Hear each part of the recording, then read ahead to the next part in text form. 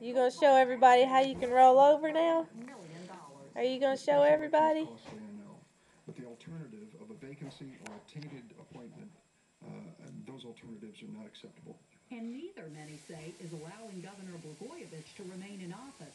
There is talk of impeachment if he refuses to resign. What did you call him? Blagojevich. I like Which some say might be funny if it weren't so sad. You wanna get your monkey? You wanna get your monkey? The House could vote on it tonight, but Bob Moore reports it may stall in the Senate. With the multi-billion dollar auto bailout package still on the political assembly line, opponents on Capitol Hill are railing against what they call a taxpayer-funded travesty. unless Chrysler, Ford, and General Motors become lean and innovative and competitive in the marketplace, this is only delaying their funeral.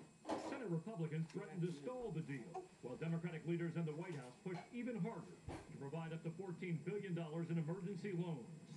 Automakers would be under the thumb of the presidentially appointed cars. Yay, we did it again! You were so good!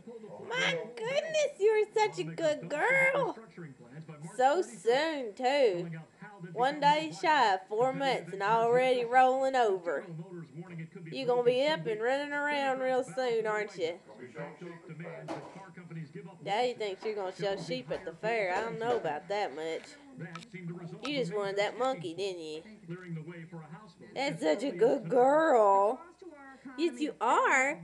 You mama's good girl, aren't you? Yes, you are. You silly thing.